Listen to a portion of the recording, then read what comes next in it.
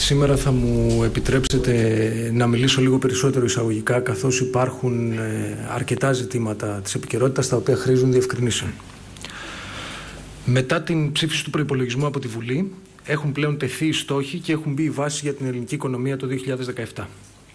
Ο Πρωθυπουργός, κατά την συζήτηση, έκλεισε για άλλη μια φορά το σενάριο των εκλογών ξεκαθάρισε με κατηγορηματικό τρόπο ότι δεν πρόκειται να παραδώσει τη χώρα και την κοινωνία στη συμμαχία των προθήμων.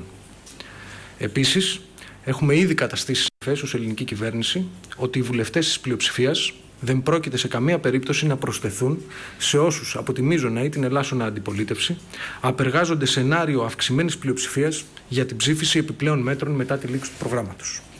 Η θέση της κυβέρνησης ήταν, είναι και θα είναι σαφής και κατηγορηματική δεν θα αποδεχθεί την ομοθέτηση μέτρων για μετά το 2018.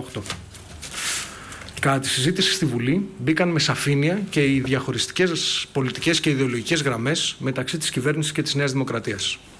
Από τη μία, το σχέδιο της κυβέρνησης για την υπεράσπιση της κοινωνικής πλειοψηφίας, το κλείσιμο της δεύτερης αξιολόγησης με αποκατάσταση των συλλογικών διαπραγματεύσεων, ώστε από την ανάκαμψη να υποφεληθούν κυρίως οι εργαζόμενοι.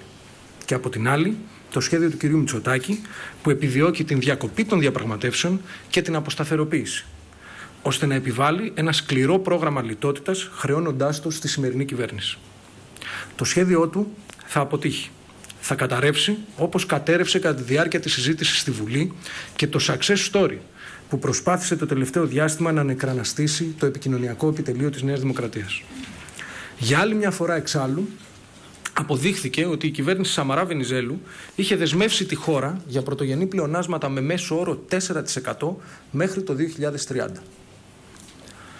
Όσον αφορά τώρα τις εξελίξεις στη διαπραγμάτευση, η ελληνική κυβέρνηση και οι εκπρόσωποι των θεσμών γνωρίζετε ότι θα συναντηθούν σήμερα ώστε να συνεχίσουν τη συζήτηση από εκεί που σταμάτησε κατά την τελευταία του συνάντηση, σύμφωνα και με την απόφαση του τελευταίου Eurogroup, του Eurogroup της 5ης Δεκεμβρίου. Η θέση της ελληνικής κυβέρνησης παραμένει σταθερή στα ήδη γνωστά ζητήματα των εργασιακών και των δημοσιονομικών στόχων. Αμετάβλητη παραμένει και η πάγια θέση μας για την επαναφορά των συλλογικών διαπραγματεύσεων στη βάση του ευρωπαϊκού κοινωνικού μοντέλου. Το ίδιο όμως ισχύει και για τα δημοσιονομικά, στα οποία αναφέρθηκε εκτενέστατα ο Υπουργός Οικονομικών στη Βουλή, αλλά και ο Πρωθυπουργός, επαναλαμβάνοντας ότι δεν γίνονται αποδεκτά νέα μέτρα μετά τη λήξη του προγράμματος. Ένα σχόλιο είναι απαραίτητο όμως για τη στάση του Διεθνούς Νομισματικού Ταμείου, αλλά και το χθεσινό άρθρο των κυρίων Τόμψεν και Όψφελτ. Σύμφωνα με όσα αναφέρονται εκεί, το Ταμείο δεν επιθυμεί περιττέρω λιτότητα και υπερασπίζεται πλεονάσματα 1,5% για μετά τη λήξη του προγράμματος. Προξενεί όμως απορία το γεγονός ότι την ίδια στιγμή οι δύο εκπρόσωποι του Ταμείου, αυτοαναιρούμενοι αναφέρουν ότι θα αποδεχθούν τις απαιτήσεις των Ευρωπαίων για 3,5% πρωτογενή πλεονάσματα. Αλλά και ότι θα απαιτήσουν νέα μέτρα λιτότητας. Καθώς εκτιμούν ότι οι προβλέψεις των Ευρωπαίων πάνω στις οποίες βασίζεται το πρόγραμμα είναι υπεραισιόδοξες. Οι εκτιμήσεις του Ταμείου όμως είναι λανθασμένες, ενώ οι πληροφορίες που αναφέρουν είναι ψευδείς. Σε ό,τι αφορά τις παλαιότερες εκτιμήσεις του Ταμείου, εξάλλου, είναι αναγκαίο να θυμίσω ενδεικτικά. Το 2011 το Ταμείο προέβλεψε ύφεση 2,6%, ενώ η ύφεση αν, ε, ανήλθε στο 7,1%. Για το 2012 προέβλεπε ότι η ελληνική οικονομία θα επανέλθει στην ανάπτυξη με ρυθμούς 1,1%. Ενώ τελικά η ελληνική οικονομία παρουσίασε για ακόμη μια φορά γιγάντια ύφεση που ανήλθε στο 6,6%. Το 2013 προέβλεπε ανάπτυξη 2,1% και τελικά η ελληνική οικονομία παρουσίασε ύφεση 3,3%. Στη συνέχεια, το 2013, ήλθε η ομολογία εκ μέρους του Διεθνούς Νομισματικού Ταμείου ότι είχε κάνει λάθος στους πολλαπλασιαστές. Έτσι, για το τρίτο πρόγραμμα, αντέστρεψε πλήρως τη μέθοδό του και εγγενίασε μια τακτική καταστροφολογικών προβλέψεων, οι οποίες έχουν και πάλι όλες διαψευστεί.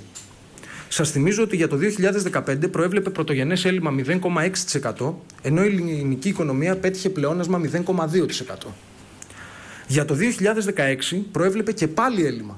Ενώ η ελληνική οικονομία αποδείχθηκε ότι υπεραποδίδει στους στόχους για πρωτογενές πλεόνασμα. Το 2016 θα κλείσει πάνω από το 0,5% που είναι ο στόχος του προγράμματος, αφού εγγραφούν μάλιστα και οι δαπάνες ε, για τα μέτρα στήριξης χαμηλοσυνταξιούχων ύψους 617 εκατομμυρίων ευρώ. Και τα δεδομένα όμως που επικαλείται το άρθρο για την ελληνική οικονομία είναι ψευδή. Συγκεκριμένα, δεν ισχύει ότι το 50% των οικοκυριών εξαιρείται από τη φορολογία, ούτε ότι οι καταβαλλόμενες συντάξεις έχουν ύψος αντίστοιχο με αυτές που καταβάλλονται από ισχυρές ευρωπαϊκές οικονομίες. Αντίθετα, όπως αναφέρει σε σημερινό του άρθρο απάντησης ο Υπουργός Οικονομικών κ. Ευκλήτης Τσακαλώτος, το οποίο θα δημοσιευτεί εντός ολίγων λεπτών, οι δαπάνες της Ελλάδας για συντάξεις και άλλα επιδόματα βρίσκονται στο 70% του μέσου όρου της Ευρωπαϊκής Ένωσης και στο 52% του μέσου, ε, και στο 52% της Γερμανίας. Την ίδια στιγμή, το 45% των συνταξιούχων λαμβάνει σύνταξη κάτω από 665 ευρώ, που αποτελεί το όριο της φτώχειας. Ενώ πάνω από 4 εκατομμύρια Έλληνες αντιμετωπίζουν τον κίνδυνο της φτώχειας και του κοινωνικού αποκλεισμού. Μάλλον λοιπόν το πρόβλημα της ελληνικής οικονομίας δεν είναι οι φοροαπαλλαγές και οι υψηλές συντάξεις. Θα περιμέναμε λοιπόν ως ελάχιστη ένδειξη σεβασμού προς τον ελληνικό λαό το Διεθνές Νομισματικό Ταμείο να μην διαστρεβλώνει την πραγματικότητα και να μην βασίζεται σε ανακριβή ή ακόμη και αναλυθή στοιχεία. Το Διεθνές Νομισματικό Ταμείο οφείλει να αποκαταστήσει την αξιοπιστία του όχι μόνο απέναντι στην Ελλάδα, αλλά και απέναντι στη διεθνή κοινότητα, επιμένοντας την ανάγκη για μείωση πρωτογενών πλεονασμάτων στο 1,5% για μετά τη λήξη του προγράμματος και βελτιώνοντας την τεχνοκρατική του επάρκεια σε ό,τι αφορά τις προβλέψεις του. Αναφορικά τώρα με το πρόγραμμα του Πρωθυπουργού. Γνωρίζετε ότι ε, σε λίγο αναμένεται να αναχωρήσει για την Ίσυρο, από όπου θα ανακοινώσει σειρά παρεμβάσεων που σχετίζονται με την ισιωτική πολιτική, ενώ στη συνέχεια θα μεταβεί στην Τήλο. Αύριο θα βρεθεί στη Θεσσαλονίκη, όπου θα πραγματοποιήσει σειρά συσκέψεων, ενώ στη συνέχεια θα αναχωρήσει για τις Βρυξέλλες, ώστε να συναντηθεί το απόγευμα με τον Κύπριο πρόεδρο κ. Αναστασιάδη και να συμμετέχει την Πέμπτη στη Σύνοδο Κορυφής. Ο Πρωθυπουργός στο περιθώριο της Συνόδου θα έχει σειρά επαφών, μεταξύ άλλων με τον πρόεδρο της Κομισιόν κ. Γιούγκερ, τον πρόεδρο του Ευρωπαϊκού Κοινοβουλίου κ. Σούλτς, τον Γάλλο πρόεδρο Φρανσουά Ολάντ, αλλά και τον Ολλανδό Πρωθυπουργό κ. Ρούτε. Την Παρασκευή, ο Πρωθυπουργός θα μεταβεί στο Βερολίνο, όπου θα συναντηθεί με την καγκελάριο κ. Μέρκελ. Η ατζέντα της συνάντησης περιλαμβάνει την πορεία του προγράμματος, το προσφυγικό, τις διαπραγματεύσεις για το Κυπριακό και τις σχέσεις ανάμεσα στην Ευρωπαϊκή Ένωση και την Τουρκία. Τέλος, το Σάββατο ο Πρωθυπουργός θα απευθύνει χαιρετισμό στο συνέδριο του κόμματος Ευρωπαϊκής Αριστεράς που διεξάγεται στη γερμανική πρωτεύουσα.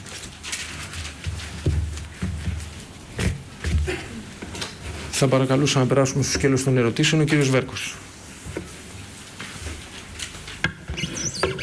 Ε, κύριε Υπουργέ, είχαμε σήμερα μια δήλωση από την Υπουργό Εργασίας, την κυρία Αχσιόγλου, ε, μπαίνω στο θέμα των εργασιακών, η οποία επισήμανε ότι είναι διστακτικοί οι εκπρόσωποι της Κομισιόν να υποστηρίξουν το ευρωπαϊκό κεκτημένο στα εργασιακά απέναντι στο Διεθνές Νομισματικό Ταμείο. Θα μπορούσαμε δηλαδή να πούμε ότι αυτή τη στιγμή βρίσκεται η Ελλάδα στο σκέλος των εργασιακών που είναι κομβικό για το κρίσιμο της δεύτερης αξιολόγησης, ότι βρίσκεται μόνη απέναντι στις απαιτήσεις των υπόλοιπων δανειστών. Ευχαριστώ. Η Ελλάδα, όπως έχουμε πει αρκετές φορές και από αυτό εδώ το βήμα, ε, δεν είναι καθόλου μόνη στις, ε, απέναντι στις απαιτήσεις του Διεθνούς Νομισματικού Ταμείου ε, για τη μία αποκατάσταση των συλλογικών διαπραγματεύσεων αλλά και για την αύξηση του ορίου των ομαδικών απολύσεων. Αντιθέτως, ε, πολλοί Ευρωπαίοι αξιωματούχοι έχουν κατά το προηγούμενο διάστημα ε, δηλώσει την συμπαράσταση και τη συμφωνία τους με τις θέσεις της ελληνικής πλευράς. Σας θυμίζω εξάλλου ότι η αποκατάσταση των συλλογικών διαπραγματεύσεων δεν είναι απλώς μια αιμονή της αριστεράς, ιδεολειπτική μάλιστα, όπως τη χαρακτήρισε ο κύριος Μητσοτάκης ε, πριν από λίγο καιρό, αλλά αντιθέτως αποτελεί πυλώνα του ευρωπαϊκού κοινωνικού μοντέλου. Με αυτή την έννοια σας ε, λέω ότι στις διαπραγματεύσεις έχουμε ε, στο πλάι μας εκτός από πολλούς Ευρωπαίους αξιωματούχους και την ίδια την ευρωπαϊκή παράδοση. Αναμένουμε λοιπόν η δεύτερη αξιολόγηση να κλείσει με μια συμφωνία η οποία θα περιλαμβάνει και την αποκατάσταση των συλλογικών διαπραγματεύσεων. Παρακαλώ, κυρία Καλογερόπουλου. Κύριε εκπρόσωπε, ο κύριος Τόμψεν έδειξε ως υπεύθυνο για τη λιτότητα τον Πρωθυπουργό. Καθώς το Διεθνές Νομισματικό Ταμείο κατά καιρούς έχει παραδεχτεί ότι έχει κάνει λάθη στα προγράμματα τα οποία έχουμε εφαρμόσει στη χώρα μας. Η κυβέρνηση τι λέει, τι απαντάει στον κύριο Τόμψεν; Νομίζω ότι το σύνολο της εισαγωγικής μου τοποθέτησης απαντά στο ερώτημά σας. Τώρα σε ό,τι αφορά το τι ισχυρίζεται ε, ο κύριος Τόμσεν για το ποιος ευθύνεται για τη λιτότητα, νομίζω ότι είναι κάτι περισσότερο από, από πασιφανές.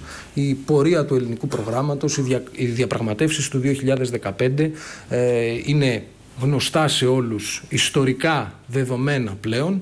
Ο τρόπος με τον οποίο καταλήξαμε στα πλεονάσματα ε, του 3,5% για το 2018 είναι επίσης γνωστά. Ε, νομίζω ότι καλό θα ήταν ε, αντί ο κύριος Τόμσεν να δείχνει τον Έλληνα Πρωθυπουργό ε, ως υποτιθέμενα υπεύθυνο για την εφαρμογή της πολιτικής λιτότητας να επιμείνει με παρησία στη θέση του Ταμείου για, το, για την ανάγκη μείωσης των πρωτογενών πλεονασμάτων μετά το 2018 στο 1,5%. Κυρία Γκαντώνα. Ε, κύριε εκπρόσωπε, είπατε στην ε, εισαγωγική σας τοποθέτηση ότι η κυβέρνηση, για άλλη μια φορά δηλαδή είπατε, ότι η κυβέρνηση δεν πρόκειται να δεχθεί νομοθέτηση μέτρων ε, για μετά το 18. Αυτό σημαίνει ότι ετοιμάζεστε να δεσμευτείτε με κάποιο άλλο τρόπο ενδεχομένως;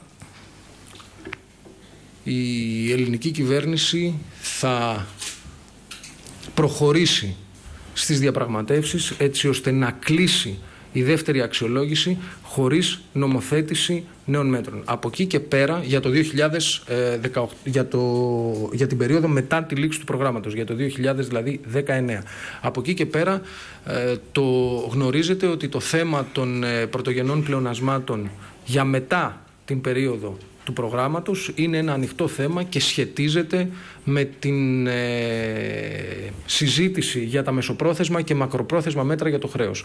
Όταν η συζήτηση για τα μεσοπρόθεσμα και μακροπρόθεσμα μέτρα για το χρέος καταλήξει, θα έχουμε και την αντίστοιχη μείωση των πρωτογενών πλεονασμάτων που είναι άμεσα συνδεδεμένα με την ρύθμιση του χρέους. Κύριε Κατσίγιαννη. Κύριε Εκπρόσωπε, επειδή υπάρχει μια απόλυτη σύγχυση σε σχέση με τη στάση της ελληνικής κυβέρνησης ε, για τη συμμετοχή του Δουνουτού και γενικότερα τις θέσεις που διατυπώνει. Από τη μία, εσείς κατηγορείτε τη Νέα Δημοκρατία να πάρει ξεκάθαρη θέση σε σχέση με το Διεθνές Νομισματικό Ταμείο. Η θέση της ελληνικής κυβέρνησης, για να ξεκαθαρίσει και λίγο το τοπίο, ποια είναι, να φύγει, να μείνει, να το χρησιμοποιήσουμε το Δούνου του Αλακάρτ. Μπορείτε να μας δώσετε μια ξεκάθαρη απάντηση. Δεν έχω την ίδια άποψη με εσάς ότι δηλαδή υπάρχει σύγχυση σε ό,τι αφορά τη θέση της ελληνικής κυβέρνησης για το Διεθνές Νομισματικό Ταμείο. Η ελληνική κυβέρνηση επιθυμεί βεβαίως την, την παραμονή του Διεθνούς Νομισματικού Ταμείου στο πρόγραμμα, χωρίς όμως να είναι διατεθειμένη να υποχωρήσει στην απέτηση για την λήψη νέων μέτρων. Αυτό το οποίο λέει η ελληνική κυβέρνηση είναι απολύτως καθαρό. Το Διεθνές Νομισματικό Ταμείο οφείλει να επιμείνει στην θέση που Πολάκης έχει εκφράσει ότι είναι αναγκαία η μείωση των πρωτογενών πλεονασμάτων στο 1,5% από το 2019 και μετά. Δεν καταλαβαίνω λοιπόν για ποιο λόγο θεωρείται ότι υπάρχει σύγχυση σε ό,τι αφορά τη θέση της ελληνικής κυβέρνησης. Τώρα, σε ό,τι αφορά ειδικά τον κύριο Μητσοτάκη, ε, δεν του ζητάμε απλώς να πάρει θέση για το τι λέει σε ό,τι αφορά το Διεθνές Νομισματικό Ταμείο. Του ζητάμε να πάρει θέση για το αν συμφωνεί ή διαφωνεί με την απέτηση του Διεθνούς Νομισματικού Ταμείου για επιπλέον μέτρα ε, ώστε να επιτευχθεί με βάση φυσικά τις προβλέψεις του Διεθνούς Νομισματικού Ταμείου το πρωτογενές πλεόνασμα 3,5% που υποτίθεται ότι ισχύει για το 2019. Συμφωνεί με αυτή την τοποθέτηση ο κύριος Μητσοτάκης. Αυτό είναι το απλό ερώτημα που του απευθύνει η κυβέρνηση. Κυρία Μάνη. Κύριε εκπρόσωπε, το ρώσιμο της 5ης Δεκεμβρίου χάθηκε. Και όλα δείχνουν ότι μέχρι το, ε, για το κλείσιμο της αξιολόγησης εννοώ. Και όλα δείχνουν ότι μέχρι το τέλος του χρόνου δεν θα έχουμε κατάληξη. Ή δυνατόν είχατε πει και εσείς στο προηγούμενο briefing. Η κυβέρνηση βάζει deadline για το κλείσιμο της αξιολόγησης για, ε, με βασικό επιχείρημα την ένταξη του QE. Θυμίζω ότι η πρώτη αξιολόγηση διήρκησε κάτι μήνες. Ε, ξεκίνησε από το Γενάρη και τελείωσε η ιστορία το Μάιο. Το deadline της κυβέρνησης ποιο είναι; Δεν θεωρώ ότι το ορόσημο του Eurogroup της 5ης Δεκεμβρίου χάθηκε. Αντιθέτως, την 5η Δεκέμβρη, την 5η Δεκέμβρη ε, λήφθηκε η απόφαση για τα βραχυπρόθεσμα μέτρα για το χρέος, στην οποία δεν έχουμε δώσει κατά τη γνώμη μου όση προσοχή της αρμόζει. Το δεύτερο είναι ότι καταγράφηκε με πάρα πολύ μεγάλη σαφήνεια η μεγάλη πρόοδος η οποία έχει γίνει σε ό,τι αφορά την τεχνική συμφωνία μεταξύ της ελληνικής κυβέρνησης και των θεσμών. Ε, σήμερα, όπως ξέρετε, επιστρέφουν οι θεσμοί στην Ελλάδα, ξαναξεκινούν οι συναντήσεις, επομένως θεωρώ ότι είναι εφικτό στην ε, ε, περίπτωση βεβαίως που υπάρχει η βούληση από όλες τις πλευρές να βρεθεί ένα σημείο ισορροπίας, να έχουμε μια έγκαιρη ε, να έχουμε ένα έγκαιρο κλείσιμο της αξιολόγησης, αν όχι πριν το τέλος του χρόνου, τουλάχιστον ε, εντός του, ε, των πρώτων ημερών του νέου χρόνου. Κυρία Ζορμπά. Κύριε εκπρόσωπε, είπατε και στην εισαγωγική σας τοποθέτηση και τώρα απαντώντας σχετικά με το δνού του, ότι επιθυμείτε την παραμονή του μένα, αλλά το καλείτε να διορθώσει, να επιμείνει στο πλεόνασμα του 1,5%. Στο άρθρο που δημοσιεύτηκε ωστόσο χθες το κοινό άρθρο, το δούνο του λέει ότι και ακόμα και με 1,5% πλεόνασμα θα απαιτηθούν νέες παρεμβάσεις σε συνταξιδοτικό και φορολογικό. Και επ' αυτού μια, ε, ένα, μια υποερώτηση. Ε, ποια λύση απεμπλοκής βλέπετε αν επιμείνει η ελληνική πλευρά στη θέση της και αν το δουν του στις δικές του προκειμένου να συμμετάσχει στο πρόγραμμα; Σε ό,τι αφορά τις ε, απαιτήσεις του Διεθνούς Νομισματικού Ταμείου για παρεμβάσεις στο φορολογικό και το συνταξιοδοτικό, νομίζω ότι επίσης απάντησα στην ε, εισαγωγική μου τοποθέτηση. Ε, Σας είπα ότι αυτά τα οποία επικαλείται το Διεθνές Νομισματικό Ταμείο για να στηρίξει την θέση του ή τουλάχιστον οι δύο αξιωματούχοι του Διεθνούς Νομισματικού Ταμείου για να στηρίξουν τη θέση τους σε ό,τι αφορά τις αναγκαίες παρεμβάσεις, τις υποτιθέμενα αναγκαίες παρεμβάσεις σε συνταξιοδοτικό και φορολογικό, στηρίζονται σε ανακριβή στοιχεία. Αυτό το οποίο μας είπαν ε, εχθές στο άρθρο τους ο κύριος Τόμψεν και ο κύριος Όψφελτ είναι ότι πρώτον, ε, οι συντάξεις που δίνονται από την ελληνική κυβέρνηση βρίσκονται στο ίδιο επίπεδο με τις συντάξεις που δίνονται από τις πιο εύρωστες ευρωπαϊκά οικονομίες. Σας απαντώ λοιπόν ότι το ύψος των συντάξεων ε, βρίσκεται, η, μάλλον η δαπάνη του ελληνικού δημοσίου για συντάξεις βρίσκεται στο 70% του μέσου όρου της Ευρωπαϊκής Ένωσης και στο 52% των αντίστοιχων ε, δαπανών στη Γερμανία.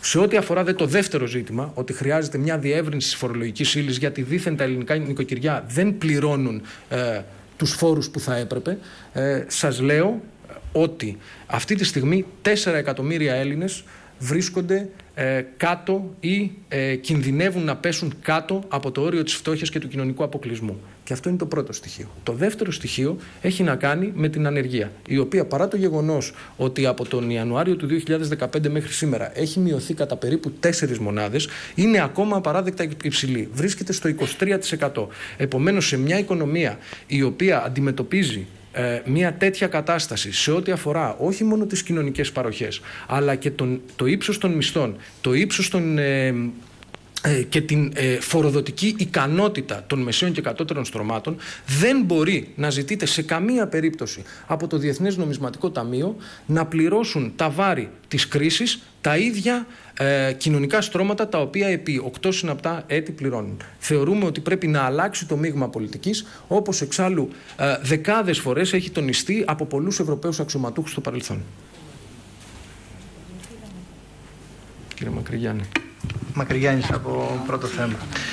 Κύριε εκπρόσωπε, ε, κύριε Υπουργέ, ακούγοντάς σας, ε, ε, διαπιστώνω ότι όλα αυτά που λέτε είναι ένα διάγγελμα περίπου κατά του Διεθνούς Νομισματικού Ταμείου και των όσων λέει. Αποδομείται όλη την επιχειρηματολογία με την οποία ο Τόμσεν και ο συνεργάτης του, εν πάση περιπτώσει, επιχείρησαν να τοποθετήσουν τα πράγματα με το άρθρο τους. Γιατί η ελληνική κυβέρνηση δεν λέει καθαρά διότι δεν πιστεύω να υπάρχει ψευδέστηση ότι μπορεί να αλλάξουν αυτές οι θέσεις μόνο μιας. Ότι δεν θέλει το Διεθνές Νομισματικό Ταμείο στο πρόγραμμα. Και σας ρωτώ ευθέως, θα πάει ο Αλέξης Τσίπρας να κάνει πολιτική διαπραγμάτευση; Θα πάει αύριο, μεθαύριο, την Παρασκευή στη Μέρκελ κτλ.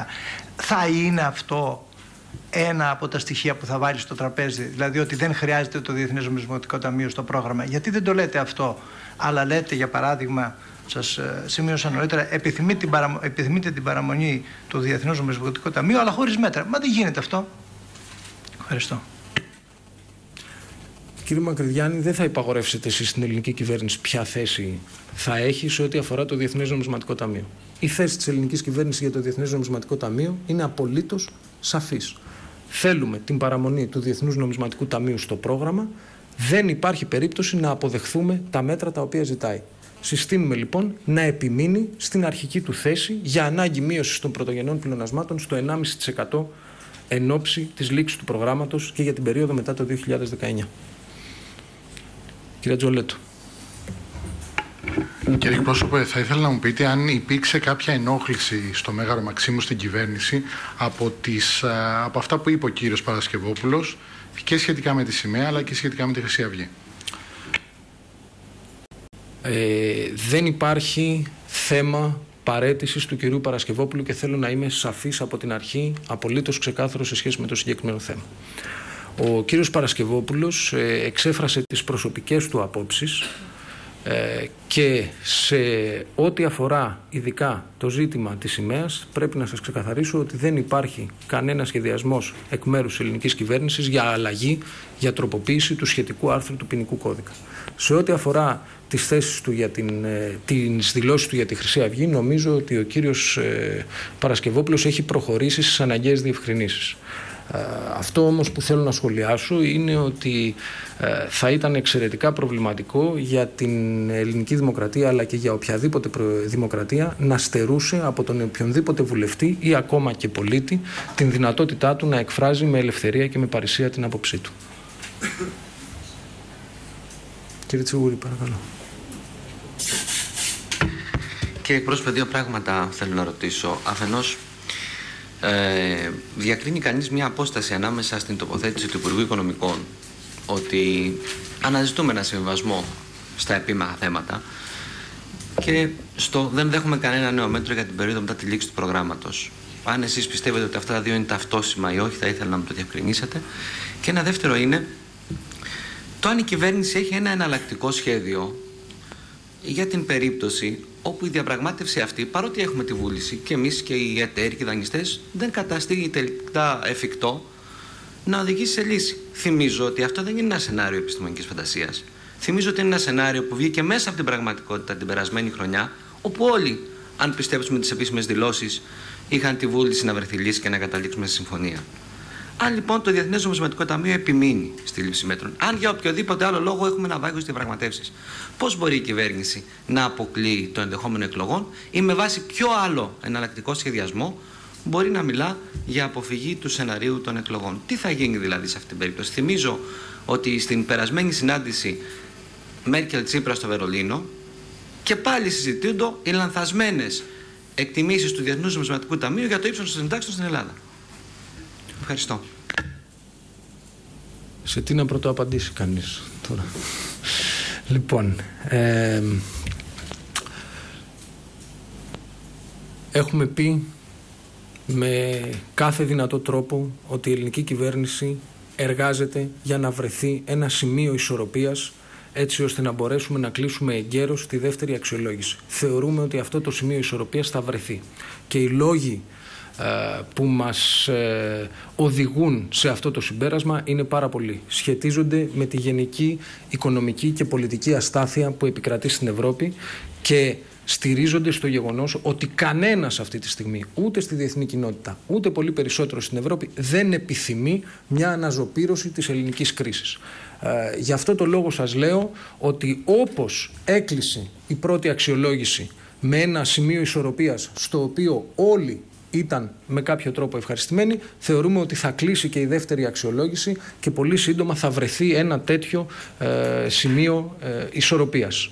Ε, από εκεί και πέρα, ε, σε ό,τι αφορά τα σενάρια των εκλογών, σας ξαναείπα ε, και στην εισαγωγική μου τοποθέτηση, επαναλαμβάνω για τρίτη φορά, ότι δεν υπάρχει καμία περίπτωση η ελληνική κυβέρνηση να παραδώσει την χώρα και την κοινωνία στη συμμαχία των προθήμων.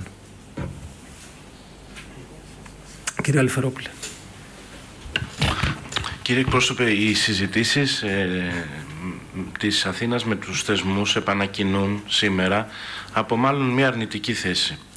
Ε, και το λέω αυτό γιατί η κυβέρνηση ε, επιρρύπτει σοβαρές ευθύνες ε, στην πλευρά του Διεθνούς Νομισματικού Ταμείου και καλεί και την Κομισιόν, τουλάχιστον σε ό,τι αφορά το κομμάτι των εργασιακών, να έρθει πιο κοντά στο ευρωπαϊκό κεκτημένο. Από την πλευρά του, βέβαια, ο κ. Τσακαλώτο εχθές είπε ότι πρέπει, υπάρχει ανάγκη να ρίξουμε λίγο νερό στο κρασί μας, αρκεί το κρασί μας να πίνεται. Και θέλω να σας ρωτήσω, με δεδομένο ότι η κυβέρνηση θα κινηθεί στο, στα πλαίσια των κόκκινων γραμμών που έχει θέσει, αλλά χωρίς να κάνει άλλες υποχωρήσεις, ποιο θα είναι το νερό στο κρασί, για παράδειγμα, αν επιμείνει το δούνο του στο αφορολόγητο; Θα είναι 7.000 ευρώ αντί για 5 που ζητάνε; Υπάρχουν τέτοιου είδους ζητήματα με πρόθεση της κυβέρνησης να κλείσει τη διαπραγμάτευση μέσα στο πρώτο δεκαπενθήμερο του Ιανουαρίου υπάρχει στόχευση για κάποια μέτρα; Είναι ο κόφτης μία λύση, η, η, η συνέχεια ενός μηχανισμού δημοσιονομικής διόρθωσης; Αυτή τη στιγμή δεν έχουν καν ξεκινήσει οι επίσημες συναντήσεις με τους θεσμούς. Επομένως, περιμένουμε να δούμε ποια θα είναι η αντίδραση και των ευρωπαϊκών θεσμών αλλά και του Διεθνούς Νομισματικού Ταμείου στις επίσημες ε, διαδικασίες της διαπραγμάτευσης και από εκεί και πέρα σας έχω ξαναπεί ότι εμείς ε, ξεκινάμε με πολύ συγκεκριμένες διαπραγματευτικές θέσεις. Οι διαπραγματευτικές αυτές θέσεις λένε ότι πρώτον και σε αυτό είμαστε απολύτως ανυποχώρητοι. Δεν συζητάμε τη συγκεκριμενοποίηση και την λήψη οποιοδήποτε μέτρου νομοθετικά για μετά το 2018, για μετά τη λήξη του προγράμματος. Δεύτερον, ε, επιμένουμε ότι είναι απολύτως αναγκαία η αποκατάσταση των συλλογικών διαπραγματεύσεων έτσι ώστε να ευθυγραμμιστεί η χώρα μας με το ευρωπαϊκό κοινωνικό μοντέλο και θεωρούμε ότι το Διεθνές Νομισματικό Ταμείο οφείλει επιτέλους να ρίξει στο τραπέζι της διαπραγμάτευσης και να μην το δηλώνει απλώς δημόσια την ε, απέτησή του ή εν πάση περιπτώσει την άποψή του ότι τα πρωτογενή πλεονάσματα οφείλουν μετά τη λήξη του πρωτογράμματος να μειωθούν στο 1,5%. Αφού όλα αυτά μπορέσουν να συζητηθούν θα έχω την ε, άποψη ότι θα μπορέσουμε να βρούμε και το απαραίτητο εκείνο σημείο ισορροπίας με το οποίο θα κλείσουμε τη δεύτερη αξιολόγηση. Κύριε Αντωνία.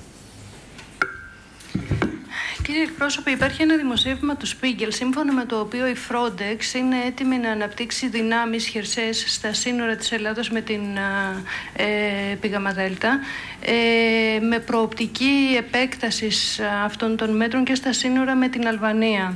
Ε, θέλω να μου πείτε αν ισχύει αυτό το δημοσίευμα, έχει και λεπτομέρειες ότι έχουν έρθει άνθρωποι σε συνεργασία με τις ελληνικές αρχές, έχουν κάνει επισκόπηση και έχουν βρει χώρους που θα εγκατασταθούν κλπ. κλπ. Ε, και αν αυτό επιβεβαιώνει την εκτίμηση ότι υπάρχει έντονη ανησυχία για κατάρρευση της συμφωνίας ΕΕ Τουρκίας και τι συνεπάγεται αυτό για την Ελλάδα. Έναν εγκλωβισμό σε περίπτωση που οι ροές αυξηθούν εκ νέου μεγάλου αριθμού προσφύγων και μεταναστών στη χώρα μας. Ευχαριστώ.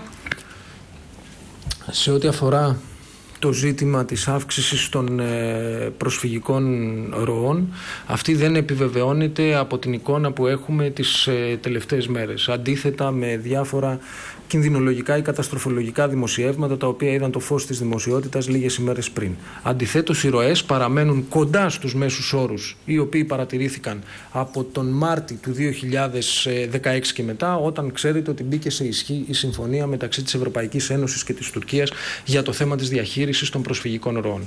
Ε, επομένως ε, βεβαίως υπάρχει προβληματισμός ε, σε σχέση με τις ε, σχετικές που δηλώσεις που κατά καιρούς έχουν γίνει από την ε, μεριά της τουρκικής ηγεσίας, όμως πρέπει να γνωρίζετε και νομίζω ότι το γνωρίζουν όλοι ότι η ελληνική κυβέρνηση σε συνεργασία με την Ευρώπη αλλά και σε συνεργασία με όλες τις εμπλεκόμενες πλευρές ε, δουλεύει στην κατεύθυνση για την όσο το δυνατόν πιστότερη εφαρμογή της συμφωνίας μεταξύ της Ευρωπαϊκής Ένωσης και της Τουρκίας. Αυτή είναι εξάλλου και η μοναδική γραμμή η οποία μπορεί να αντιμετωπίσει αποτελεσματικά την προσφυγική κρίση όχι μόνο στην Ελλάδα αλλά στο σύνολο των ε, εμπλεκόμενων χωρών. Τώρα, σε ό,τι αφορά το δημοσίευμα του Σπίγκελ, θα μου επιτρέψετε να μην σχολιάσω δημοσιεύματα τα οποία ε, σχετίζονται εξάλλου και με ζητήματα ασφάλειας των συνόρων. Ε, επειδή αναφερθήκατε και στην, στη συναντήση που θα έχει ο Πρωθυπουργός τις επόμενες μέρες και ειδικότερα στη συνάντησή του με την κυρία Μέρκελ όπου είπατε ότι θα συζητήσει και το Κυπριακό και τη σχέση Ευρωπαϊκής Ένωσης Τουρκίας. Θέλω να ρωτήσω λοιπόν εάν πηγαίνοντας για το νέο κύκλο διαπραγματεύσεων στην Γενέβη υπάρχει καθορισμός πια του ραντεβού του κυρίου Τσίπρα με τον κύριο Ερντογάν. Και δεύτερον, σαν συνέχεια στην ερώτηση της κυρίας Αντωνίου, συζητάει αυτή τη στιγμή η ελληνική πλευρά ένα εναλλακτικό σχέδιο αναφορικά με το προσφυγικό ε, με την Ευρώπη σε περίπτωση που υπάρξει πρόβλημα με την ε, συμφωνία. Σε ό,τι αφορά το πρώτο σκέλος της ερώτησής σας, έχουμε πολλάκι πει ότι θεωρούμε την διμερή συνάντηση μεταξύ Ελλάδας και Τουρκίας ε, απαραίτητη προϋπόθεση για την ε, πετυχημένη ε, για την επιτυχία της ε, πολυμερούς συνάντησης η οποία έχει οριστεί στις 12, Ιανουαρίου, στις 12 Ιανουαρίου αν δεν κάνω λάθος στη Γενέβη. Ε, περισσότερες πληροφορίες αυτή τη στιγμή δεν μπορώ να σας δώσω. Συνεχίζονται οι διπλωματικές επαφές και θεωρώ ότι πολύ σύντομα θα μπορέσουμε να ανακοινώσουμε συγκεκριμένα πράγματα. Σε ό,τι αφορά το δεύτερο σκέλος του ερωτήματός σας, ούτε για την Ευρώπη, ούτε για την Ελλάδα, αλλά ούτε και για την Τουρκία υπάρχει ή πρέπει να υπάρχει εναλλακτικό σχέδιο ε, που να ε, έρθει να αντικαταστήσει τη Συμφωνία Ευρωπαϊκής Ένωσης και Τουρκίας. Αντιθέτως, όλες οι πλευρές πρέπει να δουλέψουν για την επιτυχή και την όσο το δυνατόν πληρέστερη εφαρμογή της συγκεκριμένης ε, συμφωνίας, η οποία είναι η μοναδική που μπορεί να δώσει λύση στο ζήτημα των προσφυγικών ροών. Παρακαλώ κύριε Στρατέκη. Ήθελα να ρωτήσω κύριε εκπρόσωπε, χρησιμοποιώντας δικούς σας όρους, να προχωρήσουμε στην απεμπλοκή των διαπραγματεύσεων, άρα να γνωρίζετε ότι υπάρχει εμπλοκή. Και αν κάποιο ε, συνηγορεί στο ότι η Ελλάδα έχει κάποια συγκριτικά πλεονεκτήματα, αναφέρατε τη ρευστότητα στην Ευρώπη, όμως το πείραμα στην Ιταλία κάτι άλλο δείχνει, μια ομαλή μετάβαση από ό,τι φαίνεται από μια κυβέρνηση Ρέντση σε μια άλλη κυβέρνηση. Θέλω να ρωτήσω το εξής το πρόβλημα είναι ο Τόμσεν και το Διεθνές Νομισματικό Ταμείο ή ο κύριος Σόιμπλε; Γιατί όποιες αποφάσεις και αν πάρει το Διεθνές Νομισματικό Ταμείο, φαντάζομαι ότι χρειάζεται και η συγκατάθεση του κυρίου Σόιμπλε. Και δεν μπορώ να καταλάβω πώς αισιοδοξείται ότι θα κλείσει εγκαίρως η αξιολόγηση όταν έχουμε μία διευθύντρια του Διεθνούς Νομισματικού Ταμείου υπόδικο που δικάζεται αυτές τις μέρες και ένα κύριο Τόμσεν που εν πάση περιπτώσει αρθρογραφεί ή έχει τη μαρτυρία που έχει από την επιτυχία του προγράμματος. Τι σας κάνει αισιοδοξία ότι θα υπάρξει απεμπλοκή; Και αν δεν υπάρξει απεμπλοκή, θεωρείται απίθανο το σενάριο των εκλογών; Ευχαριστώ. Έχω απαντήσει ήδη στην ερώτηση, αλλά οφείλω να σας πω ότι εγώ δεν χρησιμοποίησα σε καμία στιγμή τη λέξη εμπλοκή στις διαπραγματεύσεις. Μπορούμε, Ούτε εμπλοκή είπα, ούτε απεμπλοκή είπα. Μπορούμε να ακούσουμε την απομαγνητοφώνηση. Είμαι απολύτως βέβαιος ότι απεμπλοκή δεν έχω, δεν έχω πει. Ε, σε ό,τι αφορά το δεύτερο ζήτημα που μου θέσατε για τη ρευστότητα, εγώ δεν μίλησα ποτέ για ρευστότητα, μίλησα για αβεβαιότητα στην Ευρώπη, η οποία αβεβαιότητα στην Ευρώπη επιβεβαιώνεται ε, από όλες τις πλευρές. Δηλαδή η Ιταλία δεν βρίσκεται σε μια φυσιολογική κατάσταση, δεν έχουμε μια ομαλή μετάβαση μετά, την, ε, ε, μετά το αποτέλεσμα του σχετικού δημοψηφίσματος. Δεν είναι ομαλή η κατάσταση στη Βρετανία, για παράδειγμα, μετά την υπερψήφιση ε, της, ε, του, του, μετά το Brexit. Ε, έχουμε μία σειρά από καταστάσεις που έχουν να κάνουν με, τις, με την προσφυγική κρίση. Έχουμε την κρίση ασφάλειας στην Ευρώπη. Έχουμε την γενικευμένη κατάσταση αβεβαιότητας η οποία επικρατεί στο πλαίσιο της μετάβασης από τη μία κυβέρνηση στην άλλη στις Ηνωμένες Πολιτείες. Επομένως επιμένουμε ότι το διεθνές αλλά και το ευρωπαϊκό πλαίσιο δεν σηκώνει αυτή τη στιγμή την πρόσθεση ε, και μιας ελληνικής αβεβαιότητας ε, στην ε, γενική ε, κατάσταση που αυτή τη στιγμή επικρατεί. Ε, αυτό δεν μας κάνει να αισιοδοξούμε, μας κάνει όμως να πιστεύουμε ότι όλες οι πλευρές θα δουλέψουν στην κατεύθυνση ώστε να βρεθεί ένα απαραίτητο και αναγκαίο σημείο ισορροπίας για να κλείσει στην ώρα της η αξιολόγηση. Ε, δουλειά της ελληνικής κυβέρνησης δεν είναι ούτε να είναι αισιόδοξη ούτε να είναι απεσιόδοξη. Η δουλειά της ελληνικής κυβέρνησης είναι να εργάζεται σκληρά ώστε να μπορέσει ε, κάθε φορά να ε, λειτουργήσει με τέτοιο τρόπο ώστε να εξυπηρετηθεί με τον καλύτερο δυνατό τρόπο ε, το δημόσιο συμφέρον. Κύριε Παπαδημητρίου. Κύριε εκπρόσωπε, διαβάζω μία ερώτηση του ε, κοινοβουλευτικού εκπροσώπου της Δημοκρατικής Συμπαράταξης του κυρίου Λοβέρβου προς τον Πρωθυπουργό. Και γι' αυτό θέλω να σας ρωτήσω για ένα θέμα το οποίο άπτεται όπως αναφέρει ο, ο κοινωνιστικός εκπρόσωπος της εθνικής ασφάλειας. Ε, και αναφέρεται βέβαια σε δημοσίευμα, πρωτοσέλιδο δημοσίευμα Μεγάλης Κυριακάτικης Εφημερίδας, σύμφωνα με το οποίο ε, διπλωμάτης, Έλληνας διπλωμάτης, συζεί με υψηλό βαθμό στέλεχος της τουρκικής πρεσβείας. Ε, απασχόλησε την κυβέρνησή σας σε αυτό το θέμα. Ευχαριστώ. Μιλάει για συνεργάτη του Πρωθυπουργού, αν δεν κάνω λάθος, το δημοσίευμα. Θα έλεγα ότι ντρέπομαι τόσο για το δημοσίευμα όσο και για την ε, ερώτηση του κυρίου Λοβέρδου. Ο Πρωθυπουργός επιλέγει τους συνεργάτες του με κριτήρια. Την επάρκεια, την ειλικρίνεια, την εμπιστοσύνη και πάνω απ' όλα την εντιμότητα. Κάποιοι μπορεί να θεωρούν, ακολουθώντας έναν χιδαίο κυτρινισμό, ότι η προσωπική ζωή πρέπει να αποτελεί κριτήριο επιλογής των συνεργατών του Πρωθυπουργού. Θεωρούμε αυτή τη θέση απολύτως απαράδεκτη. Κύριε εκπρόσωπε, σε συνέχεια, με συγχωρείτε προηγούμενη ερώτηση, θέλω να ξέρω αν ο ΣΥΡΙΖΑ και η κυβέρνηση αποδοκιμάζουν το περιεχόμενο των δηλώσεων του κυρίου Παρασκευόπουλου περί σύγκλησης με τη Χρυσή Αυγή και αν όχι, αν αυτές οι δηλώσεις προειδεάζουν για μια αλλαγή στάσης της κυβέρνησης έναντι της Χρυσής Αυγής. Υποσημειώνω δε ότι είναι σε εξέλιξη και η δίκη της Χρυσής Αυγής. Ευχαριστώ. Ο κύριος Παρασκευόπουλος έχει δώσει τις απαραίτητες διευκρινήσεις σε ό,τι αφορά την δική του θέση. Η θέση της ελληνικής κυβέρνησης απέναντι στο νεοναζιστικό μόρφωμα ήταν, είναι και θα είναι σαφής. Έχουμε πολιτική σύγκρουση, πολιτικό αγώνα, αν θέλετε πολιτικό πόλεμο με οποιονδήποτε ε, συνεχίζει να υπερασπίζεται τις πιο σκοτεινές εποχές της ευρωπαϊκής ιστορίας, συνεχίζει να υπερασπίζεται μια ιδεολογία μίσους, μια ιδεολογία εθνικιστική, μια ιδεολογία ακραία ε, φασιστική, η οποία καταλήγει να είναι ιδεολογία πατριδοκάπηλη. Κυρία Σαββοπούλου. Ε, κύριε εκπρόσωπε, προσωπικές οι απόψεις του κυρίου Παρασκευόπουλου, προσωπικές και οι απόψεις του κυρίου Τσιρόνι, ο οποίος σήμερα είπε πως ε, η σημαία που αγοράζουμε ως ιδιώτες δεν είναι εθνικό σύμβολο. Ο κύριος Τσιρόνης νομίζω ότι έκανε ένα νομικού χαρακτήρα σχόλιο.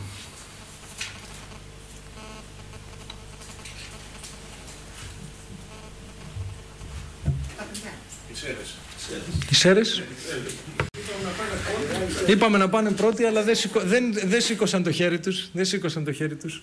Τελευταία και καλύτερη μάλλον. Ε, καλησπέρα.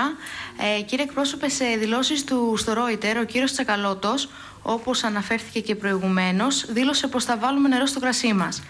Ε, μπορείτε να μας εξηγήσετε τι ακριβώς εννοούσε, νέα μέτρα, μήπως υπάρχει αντίφαση με αυτά που είπατε πριν λίγο; Ευχαριστώ. Ο κύριος Τσακαλώτος δήλωσε ε, ότι θα κάνουμε ε, ό,τι χρειάζεται έτσι ώστε να βρεθεί ένα σημείο συμβιβασμού, ένα σημείο ισορροπίας, έτσι ώστε να μπορέσουμε να κλείσουμε τη δεύτερη αξιολόγηση, χωρίς όμως να υποχωρήσουμε, χωρίς να υποχωρήσουμε στις βασικές θέσεις τις οποίες όλο το προηγούμενο διάστημα έχουμε επαναλάβει ε, σε όλους τους δυνατούς τόνους. Συγκεκριμένα δηλαδή την αποκατάσταση των συλλογικών διαπραγματεύσεων ε, καθώς και την ε, άρνησή μας να αποδεχθούμε την επιβολή νέων μέτρων μετά το 2019. Ε, γνωρίζετε ότι υπάρχουν και άλλα ανοιχτά ζητήματα ε, στη διαπραγμάτευση που σχετίζονται με το δημοσιονομικό του 2018, σχετίζονται με τα ενεργειακά, σχετίζονται με άλλες μικρές λεπτομέρειες οι οποίες απομένει να καταληφθούν έτσι ώστε να κλείσει ε, το, staff, ε, το staff level agreement, η τεχνική συμφωνία. Σε αυτά τα σημεία ε, τα οποία είναι ε, κομμάτια της διαπραγμάτευσης θα υπάρξουν οι αναγκαίοι συμβιβασμοί. Ωστόσο, στις βασικές γραμμές τις οποίες έχουμε δηλώσει ότι δεν πρόκειται να υποχωρήσουμε, εμένουμε σε αυτές μας τις δηλώσεις. Σας ευχαριστώ. Να είστε καλά.